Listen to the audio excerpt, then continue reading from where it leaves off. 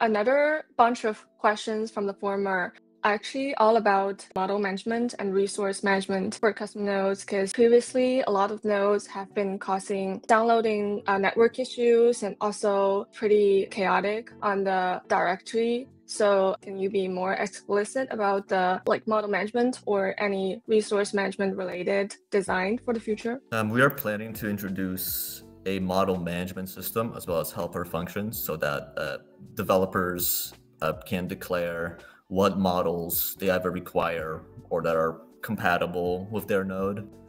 Um, but the goal will be that uh, on the workflow side of things, uh, you'll be able to load in a workflow and assuming it's a new enough workload that will use the new system, it can tell you, hey, here's the hash of this model, and here's the expected download URL.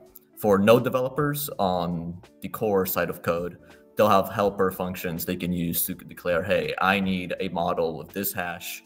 If they don't have it, here is the download URL where you would get it, and we would have built-in code that tries to handle as many edge cases as possible for the downloading process. Um, so you wouldn't need to worry about your own code to do that. That'll be huge.